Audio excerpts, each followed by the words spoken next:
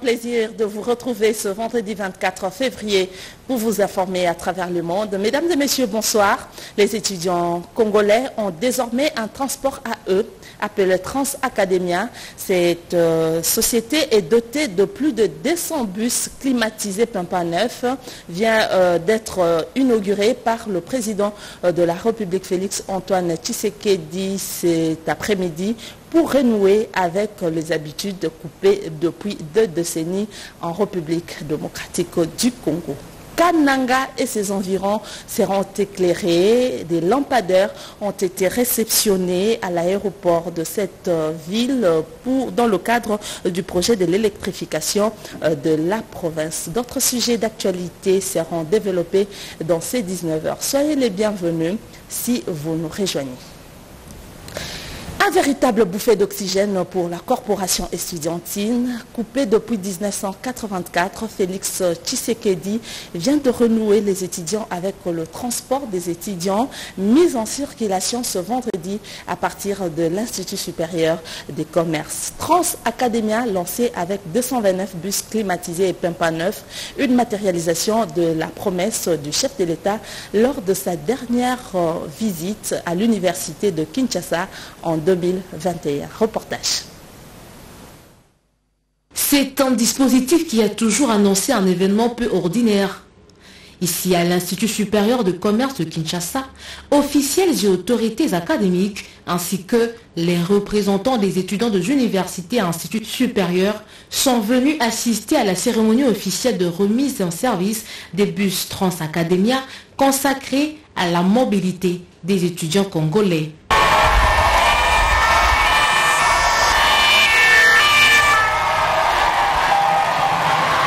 L'initiateur de ce grand projet, dont la jeunesse remonte au 5 mai 2021 lors de sa visite des campus universitaires de l'UPN et de l'INBTP, Félix Antoine Tshisekedi Chilombo a fait le déplacement ce vendredi 24 février 2023 pour lier la parole à l'acte. Chose promise, chose due. La population congolaise en général et la communauté estudiantine n'oubliera pas de sitôt ce jour.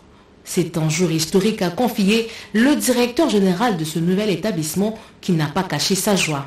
Transacademia, c'est en plus une expérience inédite dans le secteur du transport. Car, pour la première fois, le paiement dématérialisé des titres de transport sera déployé dans notre pays à travers un public friand des nouvelles technologies de l'information et de la communication.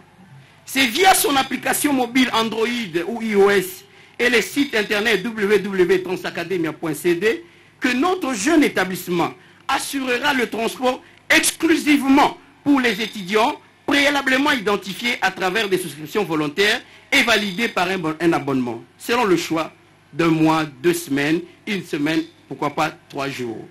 Au nom de ses camarades, le président national des étudiants a remercié le chef de l'État avant de lui promettre leur soutien total aux échéances électorales prochaines. Plusieurs actions ont été menées pour l'intérêt de l'étudiant congolais et d'autres sont en cours.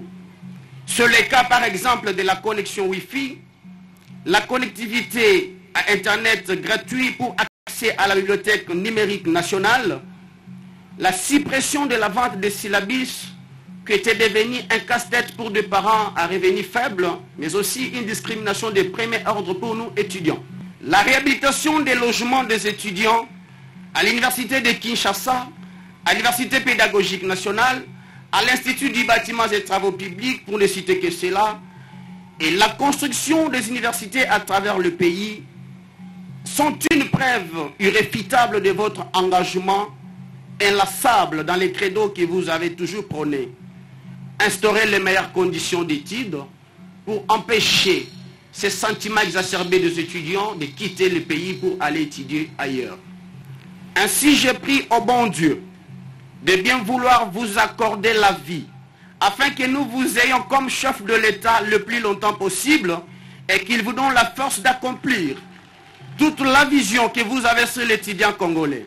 Et nous vous rassurons du haut de cette tribune de notre accompagnement, de notre engagement patriotique de se tenir tous debout derrière vous afin de défendre notre pays convié et envoûté. Après les allocutions des différents intervenants, place au lancement de la mise en circulation de bus académiens par le chef de l'État, Félix Antoine Tshisekedi Chilombo. Cette cérémonie intervient un mois après celle de la remise officielle du premier lot des bus. Plus de 450 arrêts de bus seront aménagés pour 58 lignes dans différentes communes afin de permettre le ramassage des bénéficiaires. Ces bus neufs et climatisés seront désormais observés sur les grandes artères de la capitale congolaise. Seuls les étudiants en ordre avec leur abonnement semestriel ou mensuel y seront admis. Aux bénéficiaires d'en faire bon usage. Bon vent à Trans Academia. Poursuivons avec l'actualité. Un nouveau centre de formation professionnelle sera construit à Katika, à Massimanimba, dans la province du Quilou. La ministre de la formation professionnelle qui s'est rendue sur place pour lancer les travaux a également rencontré la population de ce coin dont elle est originaire. Antoinette Kipoulou Kabenga, ministre de la formation professionnelle, derrière elle, une foule immense qui l'accompagne sur près de 3 km. Nous sommes à Moussango, son fief naturel. Par ailleurs, la ministre de la formation professionnelle a exhorté ses frères et sœurs de Moussango à l'unité pour se constituer une force politique, comme dans ses habitudes. Elle a reçu les cahiers de charges des différentes couches sociales de la population sur place promettant en même temps d'y apporter des réponses positives dans la mesure du possible, de quoi motiver l'ensemble de la population venue l'écouter. Bien avant l'étape de Mosambo, la patronne de la formation professionnelle, métier Antoinette Kipoulou, a visité Massimanimba, l'hôpital général de référence de Massimanimba et le bureau central de sa zone de santé. Réhabilité et équipé il y a 13 ans à son initiative et sur fond propre. Elle a voulu c'est rendre compte de la situation actuelle et par la même occasion réconforter les femmes accouchées. Dans son élan de générosité, elle a pu solder les frais d'hospitalisation et maternité de près de 12 femmes. Au bureau central de la zone de santé, Antoinette Kipoulou a rencontré le personnel en plein travaux de monitorage du mois de janvier et les a encouragés à travailler dans la discipline malgré les difficultés. Des écoles, centres de santé et autres bâtiments administratifs seront construits dans les provinces du Maniema, Chuapa, Tanganyika, Sankuru et le Sud Kivu. C'est le résultat de ces contrats signés en ce jour entre le PNUD, CMK, Safricas. C'est dans le cadre de la matérialisation du programme de 145 territoires initié par le chef de l'État. Euh. Les responsables de ces deux entreprises ont apposé leur signature au bas des contrats en vue de construire les infrastructures. Au total, 314 infrastructures sur le 764 à réaliser au niveau du cadre de résultats. Les infrastructures sont concernées dans le Chuapa, Sud Kivu, Chopo, Maniema, Tanganyika, Sankoro. Le ministre du Plan à d'intérim a souligné que le PNID est une agence sérieuse. À chaque étape, le PNID est présent. Nous osons croire qu'une euh, entreprise qui ne réalisera pas chacune de ces étapes ben, ne, sera pas payée. Donc il n'y a pas de risque pour qu'il y ait euh, des tournements. Pour le PNUD, c'est un programme spécial de pays axé vers les ODD et le pays, c'est la qualité et l'assurance que la population attend. Le PNUD, on va apporter beaucoup d'attention pour suivre les travaux à deux niveaux. D'abord, dans chaque province, on aura des équipes ingénieurs. Il ne s'agit pas seulement de construire, mais aussi il y aura toute l'architecture, l'ingénierie sociale autour de ces assets qu'on va construire. Le DG des Africas, Raphaël Kambere Moukoulou, a épinglé qu'ils feront tout à leur pouvoir pour honorer et agir dans la réalisation de ce travail. C'est euh, pour nous, Safricas, une fierté, une fierté, une continuation de nos actions dans le pays. Nous avons une tradition séculaire dans le domaine des constructions et nous, on veut apporter notre participation à ces programmes. Ici, à noter que le programme de développement local des 145 territoires traduit la volonté des autorités congolaises à amener le développement à la base. le programme Le nouveau comité de gestion de la SCTP avait lancé l'opération de réhabilitation de ces centres médicaux de la société de la SCTP à travers la capitale. Et voilà le caucus des sénateurs conduit par l'honorable Valentin Guérengo qui a emboîté le pas avec le don de matériel sanitaire de première nécessité. Moins de six mois après l'incendie qui avait dévasté certains compartiments du bâtiment administratif de la société commerciale, des transports et ports SCTP ex-ONATRA, la direction générale de cette entreprise du portefeuille de l'État a réhabilité sur fonds propres son centre médical de santé en le modernisant de fond en comble avec des matériels médicaux pimpant neufs de dernière génération. Ce que nous faisons, on le fait pour nos populations, pour nous-mêmes. Et ça, c'est l'exigence du chef de l'État qui nous a confié cette mission, de nous occuper non seulement du développement de nos entreprises, mais qu'on mette l'homme au centre de ces activités-là. Et c'est pour cela que vous voyez, nous sommes en train de renouveler les hôpitaux, parce que d'abord, c'est la santé de l'homme. Le succès de cette réhabilitation infrastructurelle n'a pas laissé indifférent un ancien agent de la SCTP, devenu sénateur élu de la ville province Kinshasa, à la personne de Valentin Guéringo. Inspiré à apporter sa modeste contribution à l'éclosion de ce centre, il a doté cette formation sanitaire d'un important lot de kits médicaux de première nécessité à même de soulager les pensionnaires. Le chef de l'État veut que le social soit bien fait. Voilà pourquoi c'est que le peu que j'ai, le peu que je gagne, je ne peux pas me les disposer de moi-même. Il faut que la communauté en bénéficie. Voilà pourquoi je vais ces gestes. Une brève et sobre visite guidée de tous les compartiments de ce centre médical, accompagné des enrichissantes explications de son médecin directeur, a clôturé cette symbolique cérémonie de haute portée sociale. L'élaboration du plan de gestion de la biodiversité va contribuer au renforcement de la cohésion nationale en réduisant les conflits. Avec l'appui de la Banque mondiale, ce projet va établir une connexion terrestre et numérique entre le centre et l'est du pays.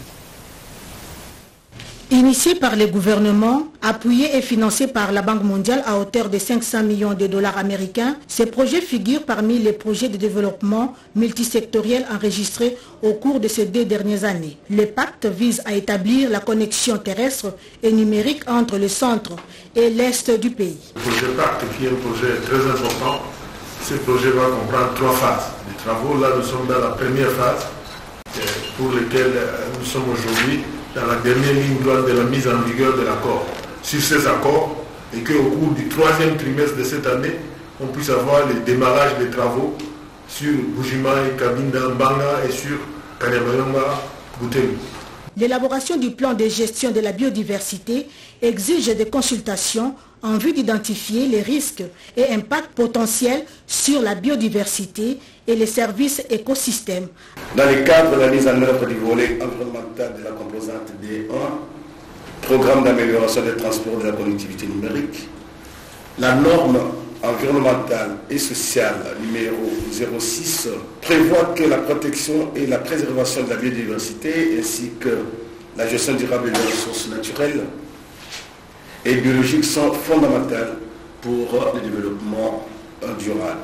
L'investissement du projet Pacte va contribuer significativement à renforcer la cohésion nationale, réduire les potentiels de conflits et exclusions, relier les personnes et les communautés riveraines, faciliter le transport des produits ruraux et aussi améliorer l'accès des populations aux services sociaux de base sur toute l'étendue du territoire national.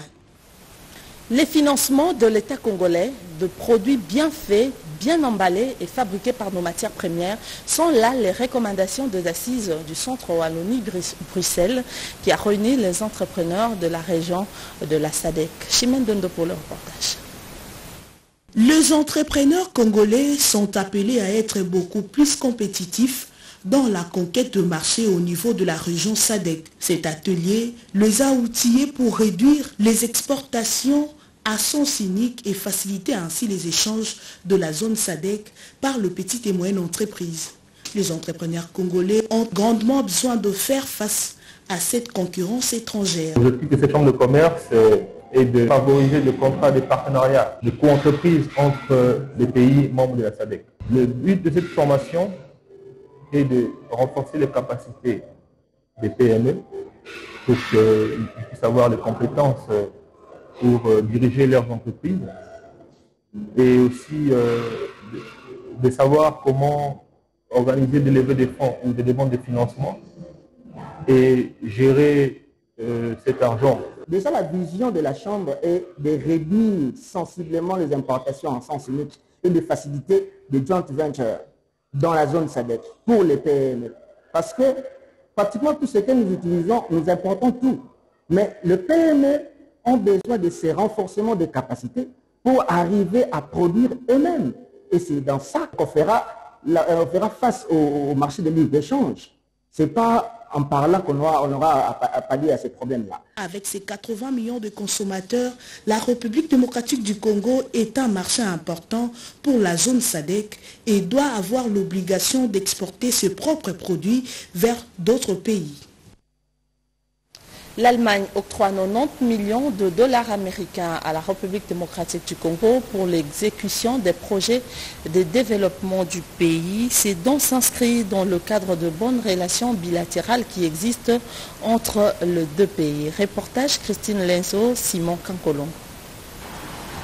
C'est après deux jours de négociations intergouvernementales entre les délégués de la République fédérale d'Allemagne et ceux de la RDC que le CG de la coopération internationale, Vincent Sambia, et les directeurs de la division Afrique, Simon Coppers, ont fini par signer ce procès verbal pour la continuité des projets en cours et pour les nouveaux projets. L'Allemagne va à travers sa division Afrique centrale du ministère fédéral de la coopération économique et du développement octroyé à la RDC 90 millions d'euros pour la réalisation de certains projets de développement. Ces projets sont programmés durant deux ans. Nous avons pu intensifier notre coopération au développement dans les domaines de la paix et cohésion sociétale, la protection de la biodiversité et le développement économique durable et de l'énergie. Toute coopération est basée sur vos objectifs de développement. Veut dire que notre engagement pour les deux prochaines années est de 90 millions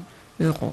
Ces projets, alignés sur les priorités congolaises, sont en harmonie avec la nouvelle stratégie du gouvernement allemand pour l'Afrique qui contribue à rendre la politique du continent encore plus sociale, plus verte et plus féministe. Pour nous, la RDC est un partenaire clé avec beaucoup de potentiel, tous les défis et surtout les solutions pour créer un développement durable, inclusif et bien sûr paisible. Il est à signaler que les projets retenus entre les deux parties seront mis en œuvre par la GIZ, la KFW et les BGR. La route Bukangalonzo Popokabaka Kasongolunda dans la province euh, du Kwango est impraticable depuis plusieurs mois et Florim Mapamboli, cadre de l'UDPS, attire l'attention des autorités pour faciliter les trafics dans ce coin. Il en a discuté avec l'administrateur du territoire de Kasongolunda pour euh, des éventuelles réhabilitations. Plusieurs infrastructures de base du territoire de Kasongolunda doivent être réhabilitées. C'est le cas de la route Bukangalonzo Popo Kabaka Kasongolunda, le stade, le bureau du territoire, la résidence de l'administrateur du territoire, pour ne citer que celle-là. Conscient de cette situation et profitant de son séjour dans ce territoire du Kwango, Florima Pamboliposa, cadre de l'UDPS, a eu des entretiens avec l'administrateur du territoire de Kasongolunda sur l'une de ses préoccupations, à savoir la réhabilitation du bureau du territoire. Il a à cette occasion doté l'autorité administrative ainsi que ses adjoints des trois motos. Il n'a pas donné parce qu'il en a assez, il a donné parce qu'il a de l'amour pour son pays il a aussi de l'amour pour euh, ces grands territoires. Je demande à la population de soutenir de payer l'initiative. Il n'est pas euh, venu ici pour la propagande, mais c'est un citoyen, c'est un compatriote, c'est un digne fils du territoire avec le peu qu'il gagne il a pensé qu'il pouvait aussi aider. Ce bienfaiteur, à travers sa fondation, a également manifesté la volonté de réhabiliter et clôturer le stade de Kasongolunda. Il l'a dit à la population venue en masse à ce même stade pour l'écouter. En fils du terroir, ce cadre de l'UDPS a promis la réhabilitation de la route Bukangalonzo Popo Kabaka Kasongolunda. Florima Pamboliposa a également pris langue avec la société Stiver Construct chargée de construire quatre grands forages d'eau en vue de soulager toute la population rurale de ce coin du pays. Ce séjour a été également marqué par le paiement des arriérés des factures d'hospitalisation des malades retenus à l'hôpital général des références de Kassongolunda et la remise des emblèmes du parti aux cadres et militants de l'UDPS Kassongolunda. L'examen de validation du plan d'engagement budgétaire a mis autour d'une table les responsables de la province du Tanganyika. Au terme de ce travaux, le vice-gouverneur Massamba Massamba a expliqué l'importance de ce plan d'engagement budgétaire. Buté ce mardi 21 février, l'atelier sur les plans d'engagement budgétaire de la province du Tanganyika s'est clôturé comme prévu ce mercredi 22 février 2023 dans la salle des conférences de l'hôtel Cham.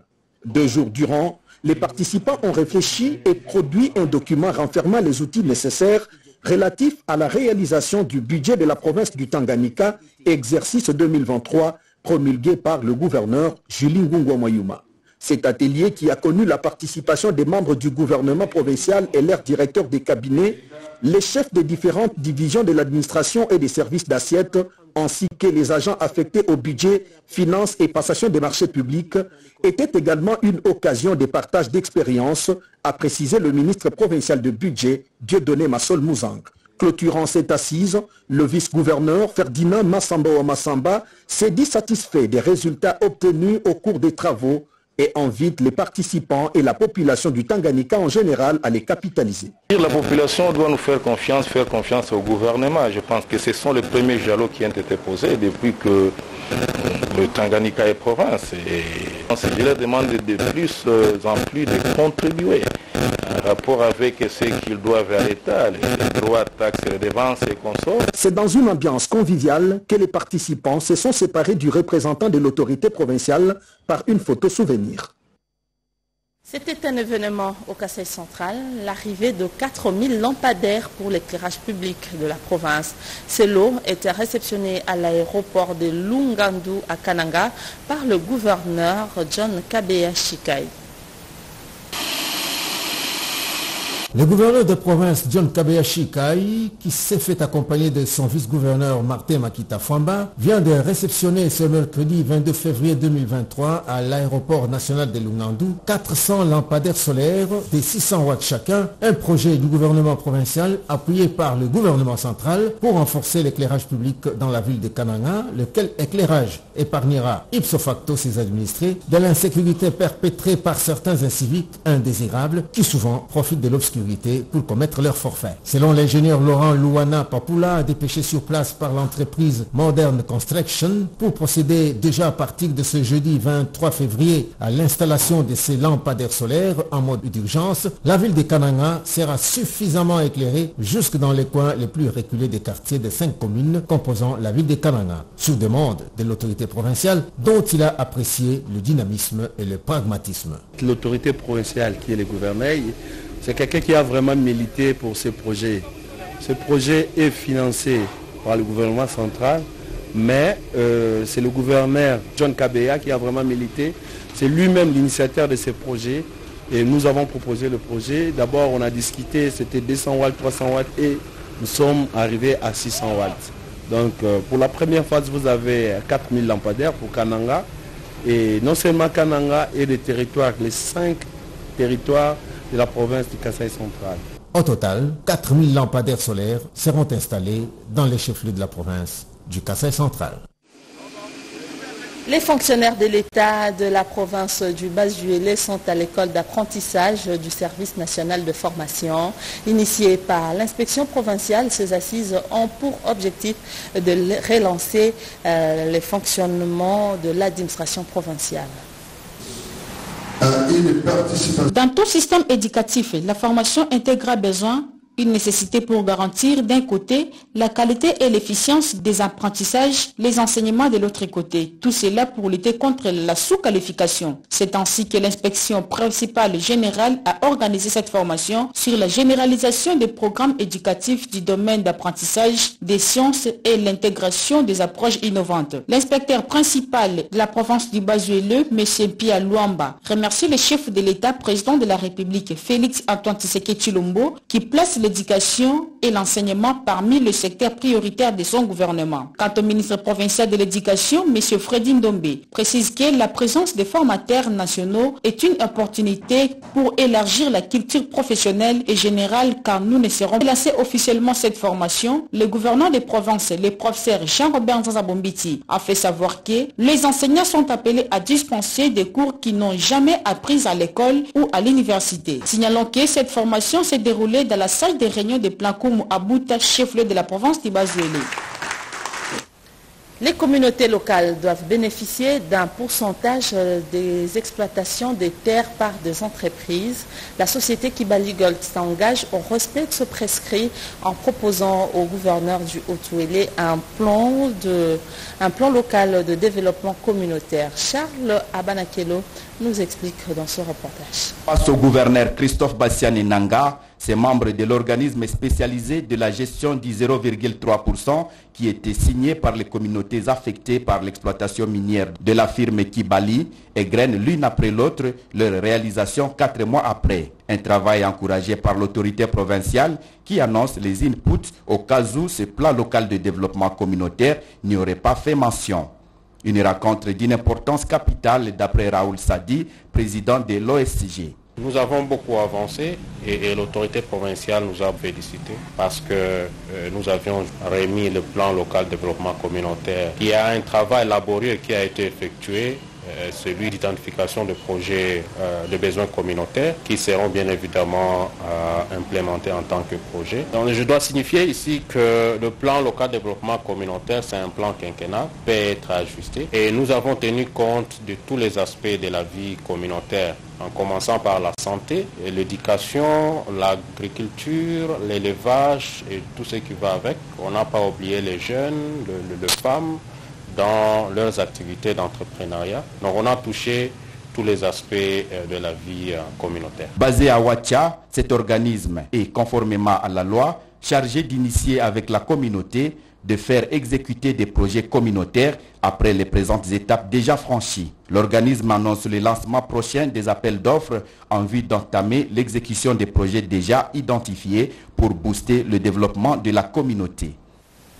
Le programme de développement de 145 territoires initié par le président de la République a un objectif, entre autres, celui de sortir l'arrière-pays du gouffre. C'est cette information que le député national Jean Kamissendou a donnée à la population de, des Païkongila afin d'activer son implication. Ces jours de Jean Kamissendou dans le sud du territoire de Masmanimba n'étaient pas du tout repos. Le député national a reçu des délégations venues de partout. Question d'évaluer les actions à impact visible déjà initiées. Il s'agit de l'opération École sans paille, la réhabilitation de routes dessertes agricoles par voie de cantonnage manuel, la réhabilitation de ponts et du bac Kimbilangundu. À cette liste s'ajoute la construction du stade des pailles Kongila. Après avoir reçu les désidératas des étudiants et du corps enseignant, de l'Institut supérieur pédagogique de Païkongila. Le député national a promis d'équiper dans un bref délai la salle informatique de l'ISP Païkongila et de remettre de bancs. Il s'est entretenu avec les étudiants dans un langage purement académique. Je mettrai toute mon âme et tout mon sens familial en jeu pour que dans X temps, quand on se rencontrera avec euh, les DG, je n'oublierai pas que je ne sois pas en situation de gêne et de honte. Entre l'ISP Paille et l'église catholique se trouve le centre nutritionnel Kukola où les religieuses prennent en charge les enfants malnutris. Ici, le constat est amer. Le député national a remis une enveloppe consistante pour leur permettre de s'approvisionner en denrées alimentaires. Merci pour ce geste d'amour envers les pauvres. À la grotte Maria, vétuste sur demande des femmes de la Légion des Maries, Jean Kamisen Dukutuka instruit sa démolition en vue de construire dans un bref délai une autre grotte au Kassai, toute la population veut s'enrôler pour accomplir son devoir civique, mais malheureusement, la CENI et ses matériels présentent quelques déficits. Il faut déjà penser à une prolongation des opérations dans cette deuxième ère opérationnelle. La ville de Chikapa, chef-lieu de la province du Kasaï, était en ébullition le samedi 18 février 2023 avec l'arrivée triomphale de l'honorable professeur Félicien Kalala. Avec toute sa délégation, la population de Chikapa leur avait réservé un accueil chaleureux digne d'un fils du terroir. Une marée humaine était venue soutenir et accompagner mais également écouter le fils digne du terroir Félicien Kalala, président national du parti Aigle du Congo pour le développement, appelé respectueusement Aigle du Kassai. Il a tenu un meeting au stade Kanzala devant les autorités de la province, un seul message de sensibilisation de la population afin d'aller se faire enrôler massivement pour les élections à venir. Après, l'homme du moment est allé accomplir son devoir patriotique. Il en a profité pour demander à la CENI d'accorder aussi une période de rattrapage à cette deuxième heure opérationnelle pour permettre à toute la population du Kassai d'aller se faire enrôler. Il faut rappeler que le parti Aigle du Congo pour le développement, avec son président national, sont déterminés pour donner un second mandat au président de la République, Félix Antoine Tshisekedi Chilombo.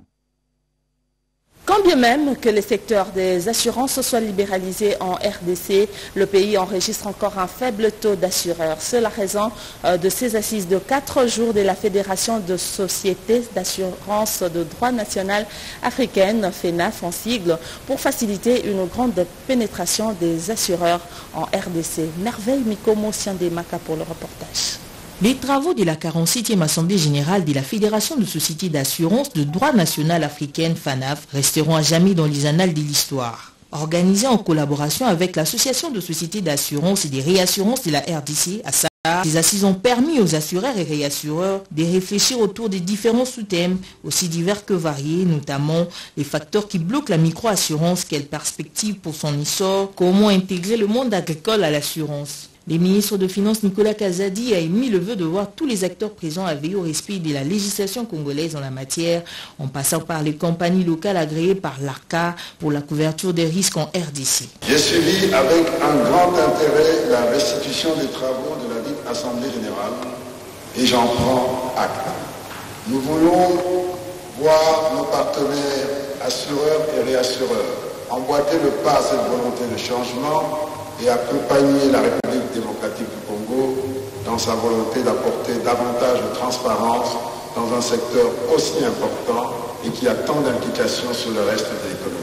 Selon le président de la FANAF, Ikoumi Afeni César, le bilan de la 47e Assemblée générale reste positif car ces assises ont été l'occasion pour l'organisation de créer des opportunités en vue de rehausser les niveaux de l'assurance en Afrique. Il s'y est de noter que la 48e Assemblée générale de la FANAF se tiendra en Mauritanie en février 2024.